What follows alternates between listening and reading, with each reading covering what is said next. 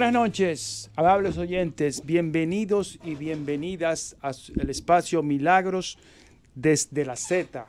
Yo soy Julio Cordero, hoy es martes, martes 30 de octubre del año 2018, son exactamente las 7 y 2 minutos de la noche.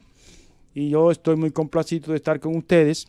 Dentro de un rato eh, llegará doña Milagros Ortiz Bosch. Y por supuesto tenemos un invitado de lujo que siempre viene los, miércoles, cada dos miércoles, pero hoy lo cambiamos para martes, que es don Antonio Almonte. En lo que él también se prepara, vamos a empezar a decir que hoy es martes, hoy es el día en que, de acuerdo a la Ley General de Hidrocarburos, se debe tomar como referencia el promedio de, diferentes, eh, del precio Platts, y hoy el combustible intermedio de Texas bajó 66,19 eh, se vendió para entrega futura, para entrega en 30 días, el, barril de petróleo, 66,19. El índice de, Dow Jones eh, subió, ha venido, estado, ha, venido bajando, mostrando una tendencia.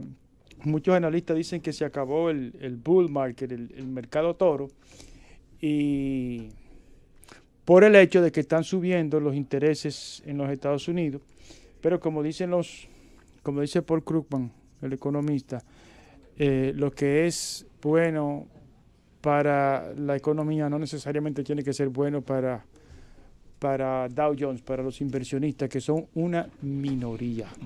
Entonces el petróleo de Texas cerró a 66,19 el barril, el Brent, que es el de referencia en Europa, 75,95 el gas natural 3.21 dólares, todo esto es dólares, el millón de BTU, y el precio del oro 1.222,60. En en el día de ayer nos encontramos, doña Milagro, y yo, fuimos a tomar un café, a una cafetería antes de llegar al programa, y hubo un oyente que me pidió, me convenció de que dijera también los precios de los commodities que afectan a este país, como por ejemplo el café y el cacao. La verdad es que no he tenido tiempo de buscarlo, pero voy a convertirlo en parte de, en parte de mi rutina y a partir de mañana voy a, a, dar esa información. Tenemos también varios anuncios que hacer. Eh, la Fundación Pro Desarrollo de la Provincia de La Vega, Provega, invita a la gran retreta vegana. Eso se hace todos los años. Y este año va a ser eh, el 9 de noviembre a las 7 de la noche en el Parque Colón, en la zona colonial. Y también el buenísimo amigo Servio Tulio Castaño Guzmán nos invita a la novena jornada Derecho Administrativo y Público, y público General. Eso es del 6 a 9 de, de noviembre en el Hotel Real Intercontinental. La administración pública en el Estado social y democrático de derecho. Es un es un taller muy interesante. Los interesados, pues, vienen muchos invitados extranjeros, muchos. Eh, bueno, imposible mencionarlos todos. Es un, taller, como dije, lo organiza Finjus. Los interesados pueden llamar al 809-227-3250, extensión 221 y 240. Esos son eh, los números de Finjus. Bueno, ya entrando en materia, y aquí tenemos un, especialista en la materia en que yo quiero entrar, don Antonio Almonte. Estoy viendo, el estado de Washington en Estados Unidos va a ser el primero, el primer estado dentro de los Estados Unidos que le va a poner un impuesto al carbón. Es decir, los, los ambientalistas están preocupados por el, por el uso de carbón. Y bueno, ya aquí hay una, una un Estado que le va a poner un impuesto. Yo me pregunto, Toñito, ¿permitirá el primer mundo que un país del tercer mundo instale una planta de carbón? ¿Cómo así? Porque se vive instalando plantas de carbón. Digo, pero en, el mundo, pero fíjate que ha dado trabajo conseguir el financiamiento. actualmente hay instalación de plantas de carbón en muchos países del tercer mundo. Pero fíjate que los organismos multilaterales de, hace años no, no financian. Oye, eso es otra cosa. Plantas de es carbón. Es decir, el, por ejemplo, el, Banco de... No, porque no es que te van a prohibir con, con, con los marines que ahora están mandando a la frontera. Eso es. Que hay 3.000 mil ciudadanos marchando y le van a mandar 5.000 Eso mil es. marines. No, no, tú lo que te refieres es si el primer mundo volverá a financiar eh, para el tercer mundo eh, eh, proyectos de plantas de carbón mineral. Bueno, Estados Unidos eh, lo tiene prohibido. No sé hasta dónde eh, Donald Trump ha aflojado lo que tenía en el Exim Bank, Sí, doctor, que era, que era una, una prohibición de financiar proyectos de planta de carbón. Eh, los europeos también eh, se han metido en ese ritmo, incluyendo los países escandinavos. Ahora, ¿qué sucede? Tú tienes naciones como China, que, que sí Que financia y, ayuda y, colabora, Y, y ya es parte y vende de, tecnología y vende materia prima. Y, Sí, ya es etcétera. parte de, de, Y- del- de la hegemonía del, del- del primer mundo. Y tiene otras naciones, eh, bueno, tú- déjame decirte que el propio proyecto de Punta Catalina contaba inicialmente con la aprobación de un préstamo de más de 600 millones de dólares. Del del-. Del, Exi- del, e- del Exim Bank tenía 800, Sí. pero de 600 y pico del Bandes brasileño. Es decir, brasileño, existen, grandes naciones que tienen también una gran capacidad de financiamiento que financian y apoyan proyectos de plantas de carbón. Lo que sí es que la presión del Banco Mundial, de los Estados Unidos y los Estados Europeos desarrollados, ha, ha dificultado mucho la expansión de la construcción de plantas de carbón en el tercer mundo y también la conciencia ciudadana con relación al problema de la, del impacto ambiental. Eh, tenemos también como otra, otro, otro elemento el tema del avance de las energías alternativas, es decir, Energías fuentes renovables. Que, que Eh, ha avanzado mucho en el Ha mundo. Ha avanzado bastante, ahí tiene mucha perspectiva. Y eh, también ha seguido creciendo la, la penetración del gas natural como una, como una fuente primaria de energía para generar electricidad. Entonces se ha eso, dicho- eso ha hecho que se- hay una tendencia a una diversificación bastante grande de las fuentes de generación de electricidad, que ya no solamente en los países desarrollados, sino también en países del tercer mundo. Bueno, Sucede y- ta- también se, es muy claro que en algunos países el problema del deterioro ambi- ambiental, de lo que es el gas de invernadero, el deterioro de los glaciares que se van desprendiendo, ¿verdad? Y, y las consecuencias que tiene para el mundo, hacen que, por ejemplo, en Europa se hable muy mal de la, del retiro de los Estados Unidos del Acuerdo de de, París, de claro. París. En París fueron 70 y pico de jefes de Estado a firmar ese documento, ¿verdad? Y lo firmó con mucha con mucha rapidez Obama y que incluso porque hizo impuso la provisión del Exim Bank de, pa- de financiar Es que la iniciativa o la, la propuesta, el propósito de, de- de Trump es casi como decir contra natura, es decir, es como contra la tendencia natural de la propia humanidad. Me explico.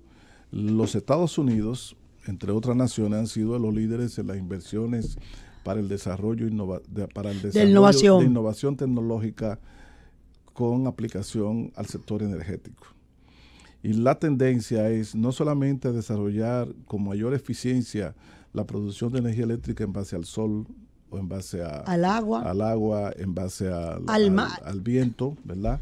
Sino también reducir significativamente la pérdida de electricidad a través de las redes, mediante el desarrollo de tecnologías que permiten el, el, el, El control, el flujo. el flujo de las cargas eléctricas por las redes, el flujo eh, con la menor pérdida posible y por consiguiente la mayor eficiencia en, el- en la producción y consumo de electricidad.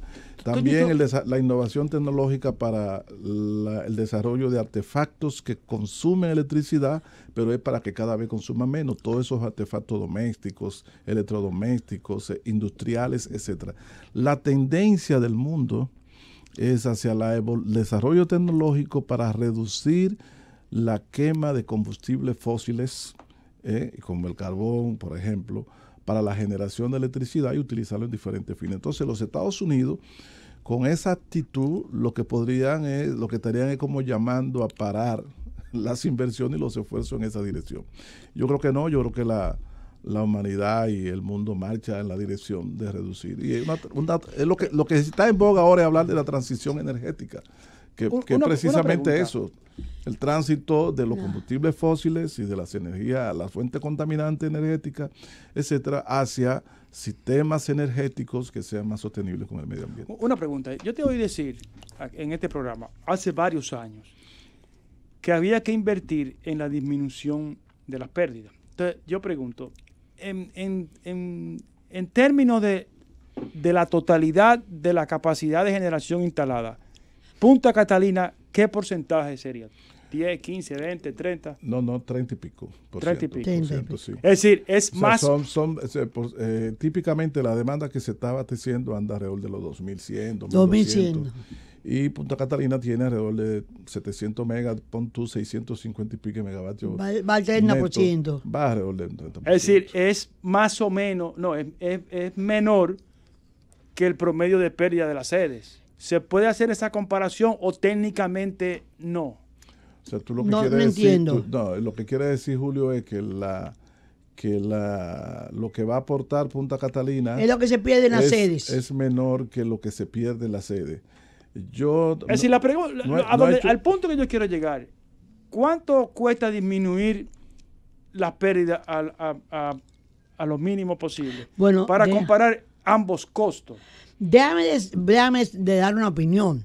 Yo pienso que una de las dificultades más grandes que ha tenido el sistema eléctrico es que no han podido detener esa pérdida de la, de la distribución. He oído varias veces inversiones para disminuir la distribución. Eh, tanto eh, lo hizo César Sánchez, lo oí mencionar a veces en este gobierno, pero la realidad es que ahí hay un asunto que le explicó muy bien a, Antonio Almonte. Cuando nos ha explicado la dificultad de hacer una, una comparación para adquirir o no, la, la, para autorizar el, el, acuerdo de compra o de contratación de Punta Catalina, que se hizo con una, eh, una, una fábrica, una producción virtual. Y la virtualidad no, no, no calculaba las pérdidas reales. Y que son las pérdidas reales uno de los mayores problemas que hemos tenido, porque yo creo que haya habido una política clientelar, haya habido un aumento de personal, como en todo el, es como si fuera un eje transversal. En todo, eh, este señor que era director eh, hace unos meses del, de salud del sistema de salud, del sistema de salud público, el doctor, creo que Hernández Rodríguez, dije que lo, difícil que era gobernar el sistema por el clientelismo. Entonces ahí entra, en la pérdida entra un gasto terrible de, una, una, no hay una búsqueda de la tecnología eficaz, de la tecnología moderna para cambiar eso. Eso que tú dices, de controlar que no se pierda desde el punto de vista tecnológico la luz que se compra, la energía que se compra.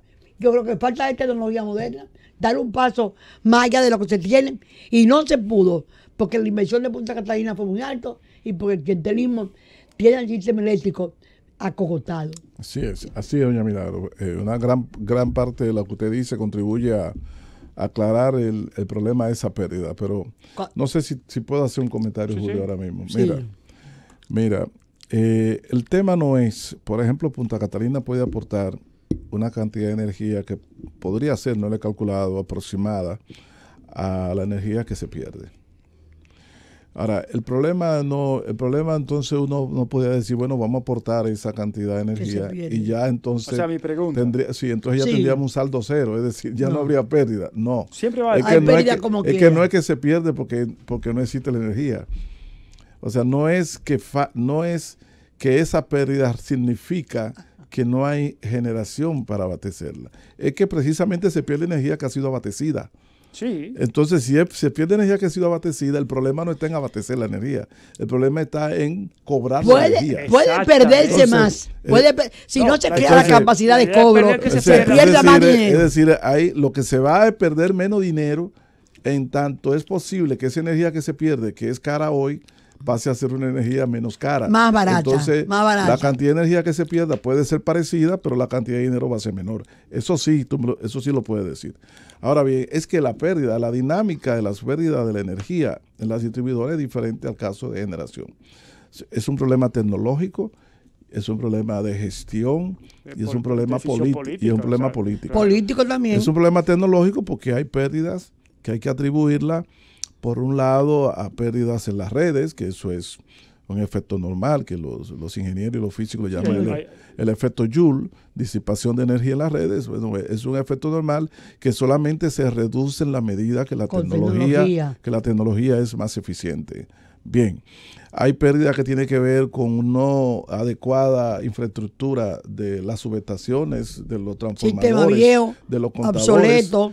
Hay problema, hay pérdida que tiene que ver con la no suficiente colocación de medidores en las casas o en los negocios de los consumidores y otras De veces- robo de energía y otras, también. y otras veces aunque estén colocados las empresas distribuidoras no tienen capacidad para leerlo y llevarle la factura que hay muchísimos casos así.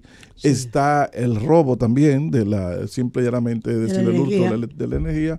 La suma de todo eso te reporta una pérdida que aquí anda muy alta. No existe pérdida cero en sistema eléctrico prácticamente en ninguna parte Yo del sé, mundo. yo sé, yo sé. Lo que hay son estándares. Tú dices, bueno, si la pérdida global, las técnicas Sí. y más los inco- incobrables rondan los 12%, 13%. Somos eficientes. Bueno, podríamos decir que estamos dentro del Somos rango, el rango, El rango civilizado, aceptable. Civilizado, pero Sí. la pérdida aquí son el doble, es más del doble de ahí. Del 30%. Y eso tiene un impacto muy 40. significativo en términos económicos. Ahora, el, el aspecto político en eso, que también tiene que ver con la gestión, es lo que yo siempre he dicho, es que hasta que en República Dominicana las empresas distribuidoras no se le traten como tales, como empresa. como empresas que tienen Mm, que, y no como que tienen que optimizar al máximo los recursos de que disponen y también cobrar hasta lo último y hacer la mejor gestión posible, utilizar el personal calificado y en la cantidad adecuada y en el lugar adecuado, invertir en nueva tecnología, invertir en nuevas estafetas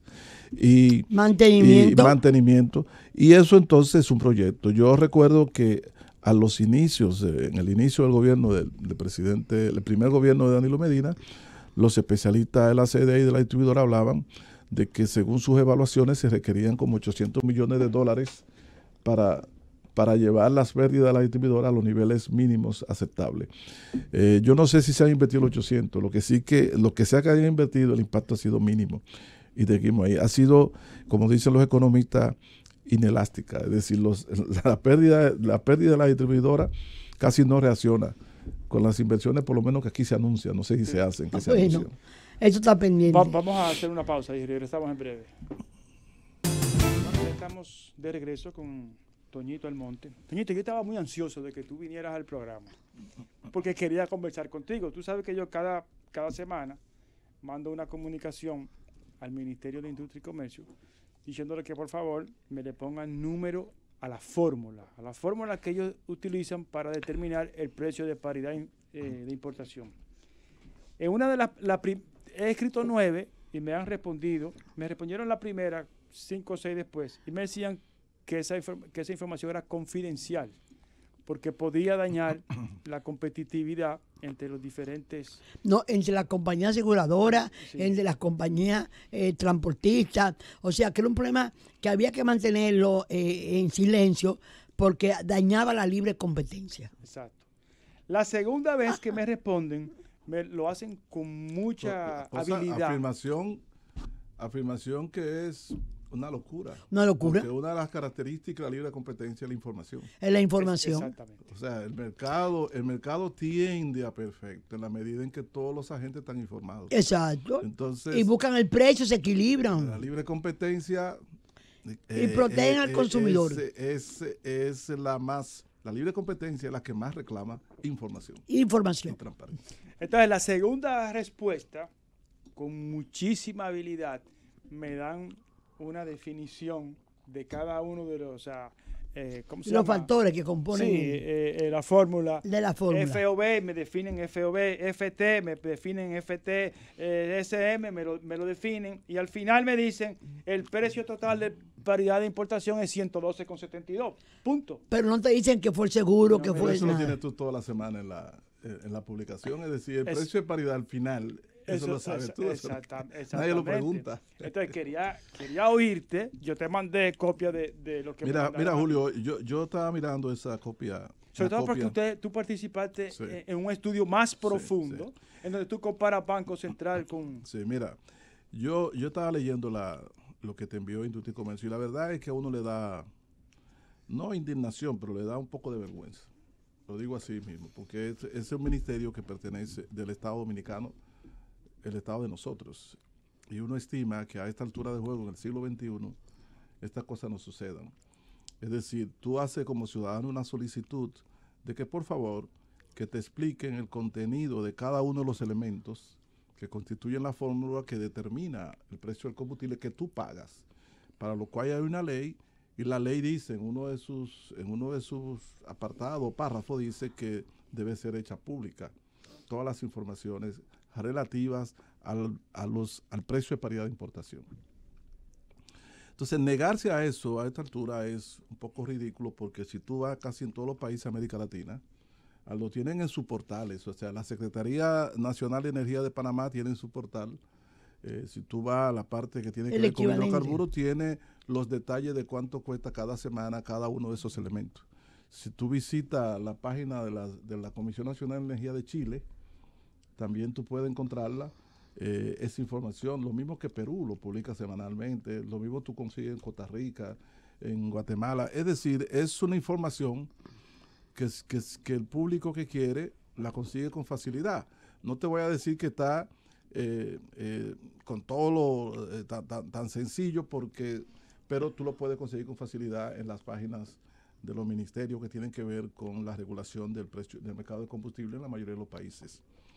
Mira, Julio, eh, estos valores que están aquí son los valores que determinan el precio de importación, porque uno dice precio de paridad, lo que estamos hablando es el precio de importación de combustible. Entonces, por ejemplo, si tú tienes la gasolina regular a un precio que tú lo compras en Estados Unidos, cuando lo traes aquí tiene otro valor. Ese valor, esa diferencia es porque es el costo de importación, entonces tiene que ver con el seguro. El transporte, el seguro, marítimo, el seguro, el seguro La pérdida. las pérdidas, el manejo de la terminal, la carta bancaria o los costos financieros, etcétera. Y entonces hace el precio de paridad de importación. Tú tienes derecho a, a- la República Dominicana publica los impuestos para cada galón. El- No, está, el- está en la ley. esa- no, y lo publica en la página semanal. Sí. También publica el margen del mayorista, publica el, margen del detallista y publica la comisión por transporte. Entonces, ¿por qué no puede, aunque sea en otra página, o darte a conocer a ti cuando lo solicita, los otros valores que tienen que ver con la importación? que es el costo, como he dicho, del flete marítimo, del seguro marítimo, las pérdidas, el manejo, gastos la- la- los gastos, los gastos de, de- de- de terminal del, del puerto y también los costos fin- los costos financieros, etcétera. Esta No, pero hay un costo extrañísimo. Esta, ley tiene dos costos. que es el costo de administración de la ley. Eh, Como si, si no fueran funcionarios pagos por el Estado para que administren la ley. No, y lo más grave de eso es que cuando en el tema, en la carta que le dirigen a Julio, sí. cuando se refieren a eso que usted dice, dicen ellos, eh, eh, ¿Qué dicen? Otros costos, y hay una parte cuando se refiere a costo de administración de la ley, y dicen, el costo de administración de la ley es el costo de administrar la ley. Bueno, o sea, así lo dicen, tú lo lees bien, si tú lo lees, o sea, algo, algo cantinflesco, pero no dicen, no dicen más nada. Entonces, nada. entonces, eso es un hecho grave y es la, una de las razones por la cual la sociedad mantiene una crítica con relación al precio de los combustibles. De alguna manera, el pueblo dominicano... El país le preocupa eso. De alguna manera, el, pa- el país percibe que no hay claridad, que hay un negocio turbio con relación al tema de los combustibles y que el gobierno está metido. Porque eso es lo que eso es lo grave. O sea, hay un negocio turbio y el gobierno está metido. Y yo he citado dos ejemplos. El caso de el hecho de que el gobierno no quiera decir cuánto cuesta la importación de los combustibles es porque algo esconde. ¿Y por qué es importante para nosotros? Porque el, el impuesto de las valores del 16% al precio de paridad Depende ese se valor. le coloca a un precio alterado. Que por lo menos el Ministerio de Industria y Comercio no se atreva a decir cuál es ese valor. ¿Cuál es ese valor? ¿Entiendes? O sea, eh, eh, ese valor. Ahora, nosotros hemos hecho las investigaciones y hemos hecho cálculos. Vamos el a ver. de importación aquí en República Dominicana es el más, el más elevado de toda América Latina. Cuando tú, cuando, cuando tú eh, eh, lo comparas con el resto, el único país que tiene un costo de importación elevado, eh, eh, un costo de importación que como que no se justifica mucho por lo que yo he visto, es el de Nicaragua que parece ser que tiene un sistema también Parecido bien opaco como República Dominicana. Claro. Nicaragua tiene una situación tal que incluso junto con República Dominicana tiene los mayores márgenes globales de intermediación, o sea, de los de las empresas que, Que participan que en la... participan. Los mayores márgenes globales los tiene República Dominicana y Nicaragua en Centroamérica y, y aquí con República Dominicana. Entonces, es falta de transparencia. Y yo pienso que la sociedad hace muy bien, los transportistas, los ciudadanos, en Que es un eje transversal. Es de que se transparente el tema de los precios de combustible. Y te doy un dato. Tú sabes que yo he explicado aquí el tema del GLP. Eso es un tema que demuestra clarísimamente. Es decir, el precio a que venden los mayoristas a los minoristas, o sea, a los detallistas y a los ciudadanos, es a partir de lo que le costó traer aquí el GLP. Y el GLP, ese precio de importación incluye el flete marítimo. Y el flete marítimo, en la, mayor, en, no, la mayoría no, en casi todos los países de América Latina, es, eh, sobre todo en Centroamérica, el Caribe, anda 120, 170, de ahí no pasa dólares por tonelada métrica. En República Sí. Dominicana es 225 dólares por tonelada métrica. Y lo aumentaron de una manera eh, eh, sin justificación, de una manera acelerada mediante dos resoluciones. Una de enero del 2013, Esa la, la, que resolución hizo... 07, y La otra que hizo este, este joven apellido Castillo, Castillo. y otra en diciembre del 2015, la resolución 365 bis. Mediante esas dos resoluciones, del 2013 a 2015, aumentaron en 90 dólares el flete de importación Dólares. mercado de petróleo, cuando el flete de importación, el costo del flete de importación no lo determina Industria y Comercio, lo debe determinar el buque que lo trae. Es Sí. decir, la empresa, El vendedor. el vendedor, la empresa Claro, que tiene el la buque fórmula, la- ahí está la que fórmula. arrienda clara. el buque es el que dice, y eso es una tarifa que se Establecida. que se verif- es establecida y varía Más o menos normal. Anualmente se Porque hay competencia. Se revisa, pero es normal, es bien estable. Ellos la aumentaron por resolución, sin ser dueños de buques, tanqueros de transporte de gas licuado de Que sepamos El nosotros. Ministerio de Industria y Que Comercio sepamos nosotros. la elevó. Ahora, ¿cuál es el problema? Que esos 90 dólares extra no lo cobró ningún buque, porque él no elevó la tarifa. Esos 90 dólares lo cobró. El Estado tampoco. el- el- Lo, lo pagamos los lo nosotros como cobró primero El negociante, intermediario el privado, transportista. Y después el gobierno le quitó esa, esa diferencia y ahora es el gobierno el que está recibiendo ese dinero sin que eh, eh, regularice, sin que le aplique una rebaja a los- al precio del galón de gas licuado de petróleo que consumen los dominicanos.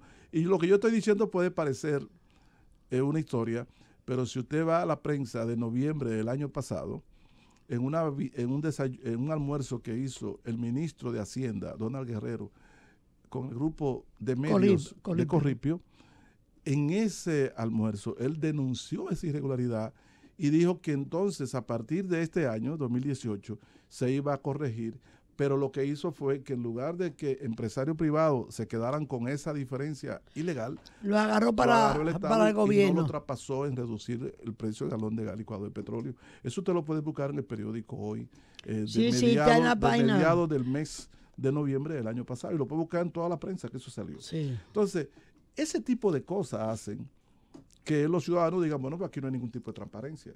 Y esos impuestos que se aplican tampoco se justifican porque se aplican a, precios- a precios alterados.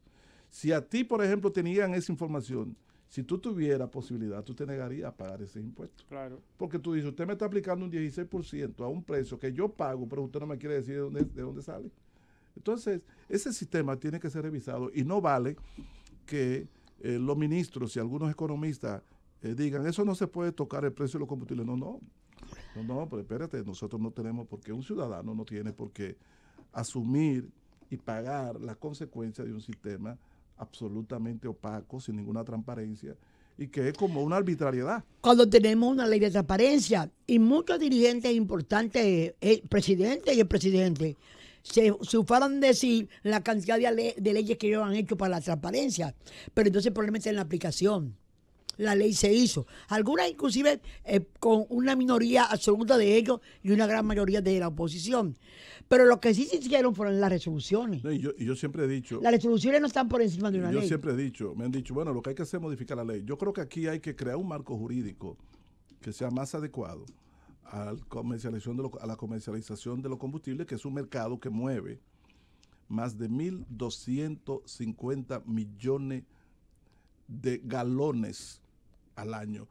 Estoy hablando, de, estoy hablando de todos los combustibles. O sea, ahí no está nada más gasolina diciendo todos los combustibles. Es un mercado. No me digas la cantidad, dime el precio de esa cantidad. Bueno, no sé, porque tienen diferentes precios cada tipo de combustible. Hay que buscar una supercalculadora. No, no, que tiene diferentes precios cada tipo de combustible. Sin embargo, usted lo puede encontrar, o sea, uno lo puede encontrar fácilmente. En la página del Banco Central está lo detallado, los costos, eh, el precio y la factura total que hace cada tipo de combustible. Bien. Pero ¿qué, yo le quiero, yo le quiero decir? La gente dice, hay que modificar la ley. Bueno, a lo mejor podemos hacer una ley perfecta, pero no se cumpla. O sea, yo creo que lo que hay es, que, el país con la los ciudadanos es que modificar la actitud. Acabo de, ver... Y pasar a una reclamación activa de cumplimiento de la ley y el respeto a sus derechos. Así hizo una exposición Farideh Raful en la Cámara de Diputados sobre las imperfecciones del presupuesto, en donde aparecen poderes hasta de crear impuestos, de variar situaciones que no están, eh, no están concebidas en la Constitución y mucho menos en la ley de presupuesto, y se autorizan y se votan todos los años. Aquí es el imperio de la ley lo que nos hace falta. yo siempre, yo nunca he visto, o sea, este, al pueblo, a este país, nunca se le ha explicado cómo se compra el combustible. O sea, ¿quién es el inter ¿a quién le compra? ¿Quién es que se gana esa comisión? Mira, es legítimo. Mira, algunos, algunos analistas más críticos, eh, sobre todo especialistas en, las publicaciones especializadas a nivel internacional, hablan de la falacia del precio de, del precio de paridad de importación. Y hablan de la falacia, el tema es muy discutible, porque el precio de paridad supone que todos los que traen combustible a un país lo compraron en el mismo punto. En este caso, no, no es verdad. En este caso la referencia es el precio de la cota del Golfo. Mm. De la cota del Golfo para los derivados de petróleo, no para el petróleo, sino para los derivados de petróleo. Entonces se hace calcular, el precio de paridad se calcula de acuerdo a la publicación que aparece en, en, el plan. sí, y en la EIA, publicaciones sobre el precio spot de cada uno de esos combustibles en la cota del Golfo. En el caso del gas de petróleo, eh, en, el, en Mont Bellevue, en Texas. Bien, entonces se asume que los que compran los combustibles en República Dominicana, los importadores, lo compran todo en ese punto, en ese lugar geográfico. Posiblemente no. Muchos lo compran a México, otros lo compran a Colombia, algunos lo compran a Tinidito Vago, lo compran a Venezuela, lo compran a otros países. De oportunidades de negocio. Y lo compran, no lo compran eh, a precio spot muchas veces, sino que tienen contratos de largo plazo. Y cuando tú haces transacciones con contrato a largo plazo, el galón te sale más barato.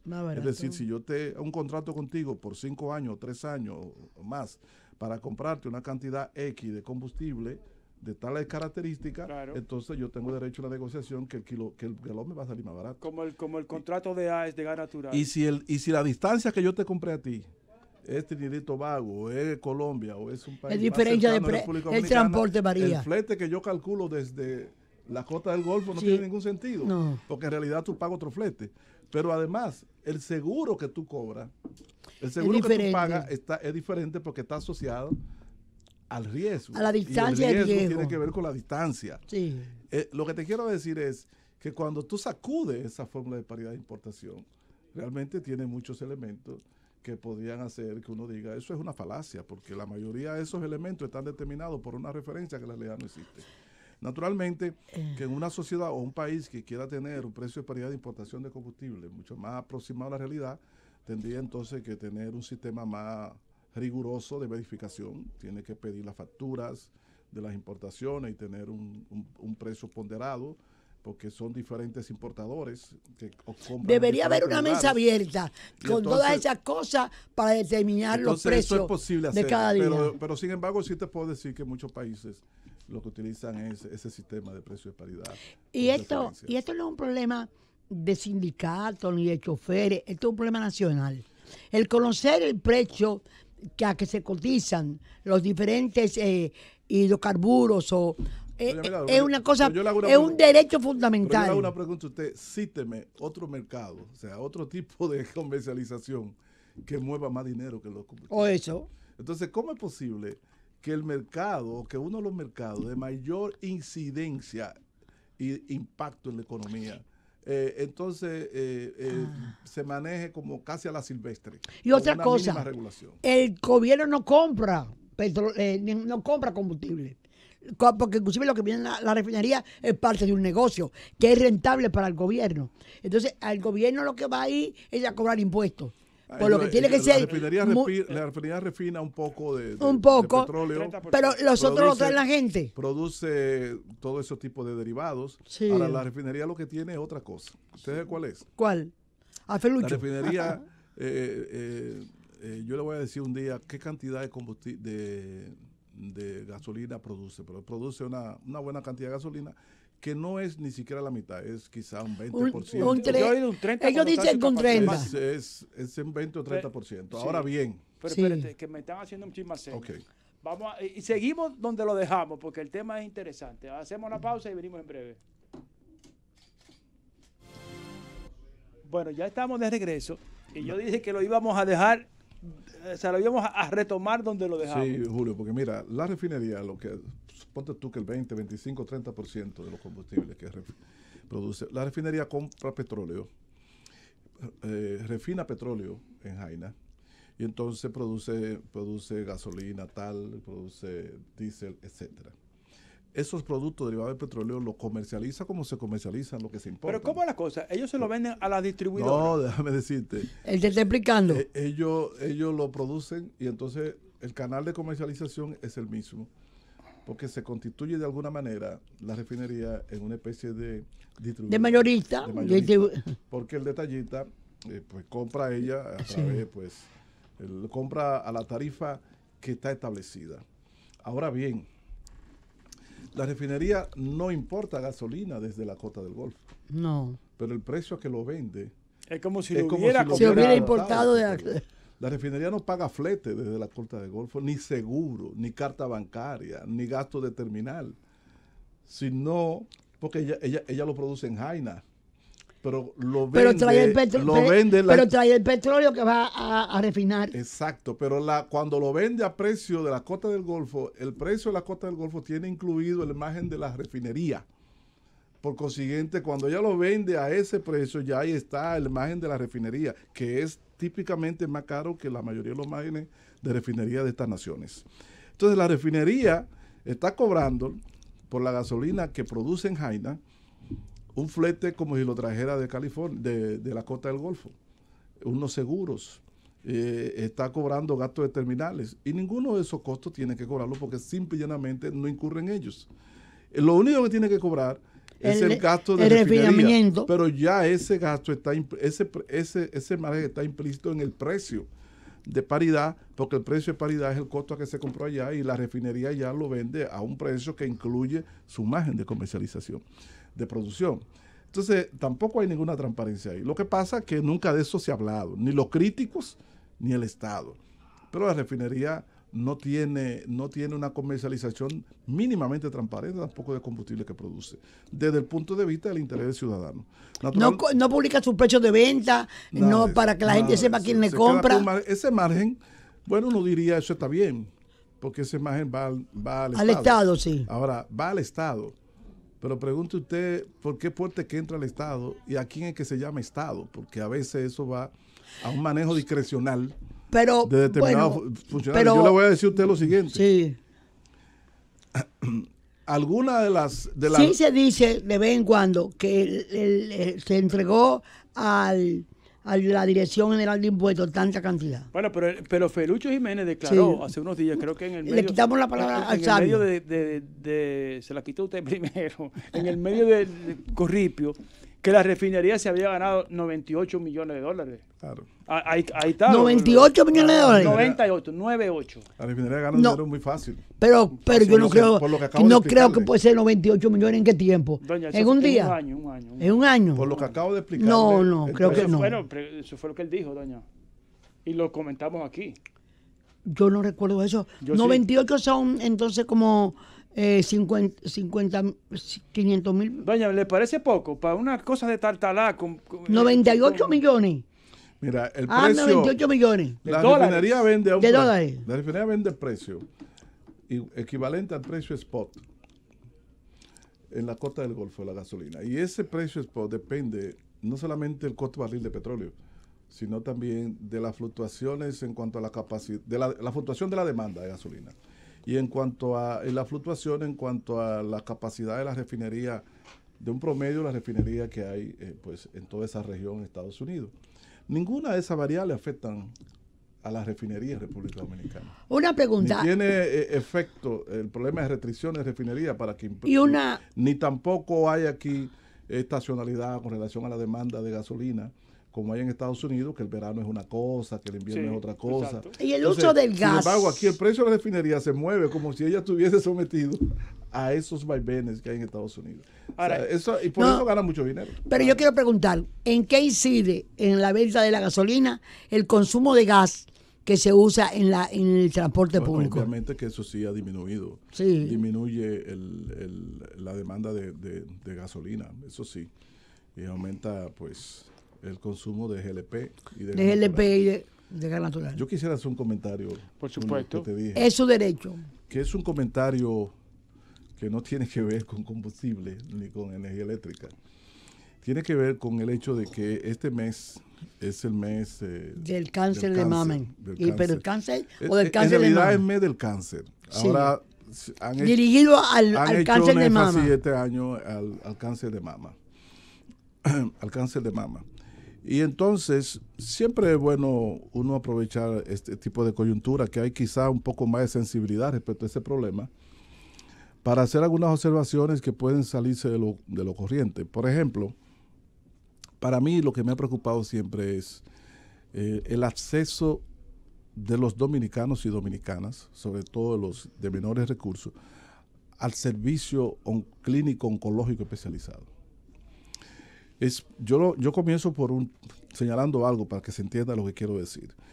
Eh, el 60, y yo pienso que en República Dominicana posiblemente más del 60% de los pacientes que son diagnosticados con cáncer y están bajo tratamiento de cáncer, en algún momento recibirían trata- recibirán tratamiento de radioterapia. Las, las tres técnicas principales, no las únicas, pero las principales que se utilizan para el manejo del cáncer son quimioterapia, cirugía y radioterapia. Ninguna de esas es sustituta de la otra, sino que depende del tipo de cáncer, la localización. Puede ser que nada más te den quimioterapia o nada más cirugía o radioterapia, pero generalmente, O las tres juntas. generalmente te combinan dos o las tres. Entonces, la radioterapia siempre participa en más del 60% de las ocasiones. La radioterapia es simplemente la aplicación de radiaciones, radiaciones ionizantes, que pueden ser ondas electromagnéticas tipo rayos X o pueden ser partículas tipo electrones o protones, como hay ahora equipos muy modernos de protones. Esas radiaciones inciden sobre el área tumoral y entonces esterilizan, es decir, eliminan, matan las células y también destruyen el tumor. Eventualmente, el paciente puede o alargar su vida o sencillamente curarse. El tratamiento con radioterapia requiere eh, mínimo alrededor de un mes y medio visita diaria al centro de tratamiento a recibir La radioterapia. terapia, porque no se puede aplicar de un solo tirón. No porque el equipo no esté en capacidad, sino porque El la, ser humano. la cantidad de radiaciones que se aplicaría, que obviamente también va a afectar tejido sano, podría tener consecuencias contraproducentes en el paciente. Entonces, los estudios desde hace décadas del siglo pasado establecen un fraccionamiento eh, y un ritmo de tratamiento que es todos los días de la semana, cinco días por semana, hasta dar 25, 35, 40 sesiones, depende del tipo de cáncer y la técnica que se utilice. ¿Qué resulta? Que si el equipo y si la radioterapia es tan fundamental para el manejo de cáncer, eh, uno se pregunta, ¿cuántos hospitales del Estado en el interior del país y en la capital tienen un servicio de radioterapia para manejar a los pacientes de República Dominicana? En el interior del país, ninguno. Ninguno. No existe un solo servicio de radioterapia en un hospital O sea, público en el interior del país. No, La- y en la público. capital solamente hay un hospital público que tiene servicio de radioterapia, que es el nuevo INCAR que tiene el Instituto de Cáncer Ros- eh, Rosemilia Tavares, que tiene unos 4 o 5 años funcionando. Es decir, es el primer punto. Es decir, cualquier paciente que tenga cáncer de mama o de ginecológico, del que sea, de un campo de Riquillo, Barahona, o de Nisibón y Güey, o de Nisibón y Güey, o de Nagua, un pobre campesino, una pobre campesina, para tratarse cáncer y de radioterapia, de cáncer de mama, que tiene que darse radioterapia durante mes y medio, tiene que venir a la capital de la República. Pero, Pero, hay, hay entonces, sitios eh, privados, entonces- ¿verdad? Eh, y el, el Heriberto Peter eh, tiene el servicio. Sí, sí, el Heriberto Sí. Peter, el Heriberto Peter es el hospital más completo desde el punto de vista oncológico en República Oncológico, Dominicana. sí. Y por suerte para el país, a pesar de que pertenece a la Liga Dominicana contra el Cáncer, que es una ONG, opera como si fuera un hospital público. Sí. No porque reciba dinero del gobierno, No. porque el Heriberto Peter lo que recibe como ayuda es un millón y pico de pesos, nada más, que es menos el salario de algunos funcionarios en República Dominicana.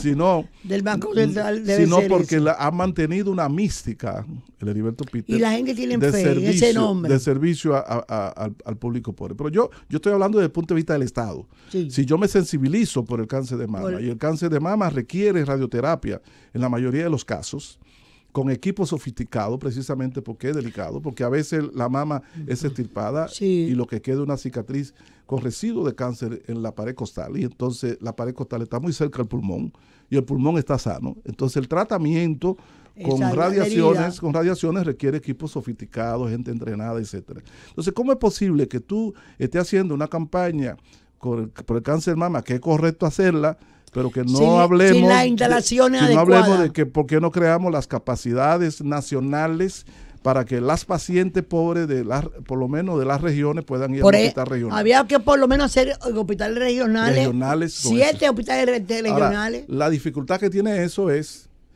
eh, que entonces significa una política de Estado para la capacitación de personal. desde luego. Porque un servicio de luego. radiooncología requiere radioterapeuta, Sí.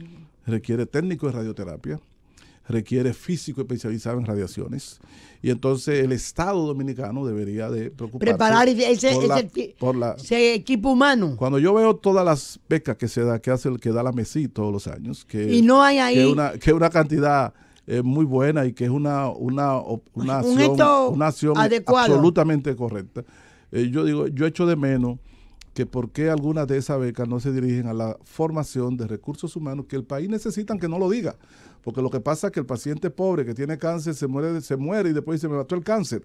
Posiblemente se lo que muere lo mató. y lo pierde todo. Posiblemente- Porque mucha gente, hasta vende, en casa había un, un caso de, de un, un personal militar que estaba vendiendo la finquita de la familia porque el papá tenía un problema con la próstata, ¿verdad? Un cáncer de próstata. Es que el manejo de cáncer es muy caro. Porque, caro. Porque cuando, la, cuando el, pac- el paciente muchas veces tiene que hacer una cirugía, son, es una cirugía especializada, una cirugía de próstata, una cirugía de colon, una cirugía de mama. Es una cirugía especializada en tanto y cuanto el, hay cirujano oncológico. Hay una cosa Y- y- hermosa en, en el IPITE, creo que también el INCAR, que aceptan todos los tipos de seguros. Sí, en el oncológico Heriberto Peter acepta Es todo tipo así. de seguro.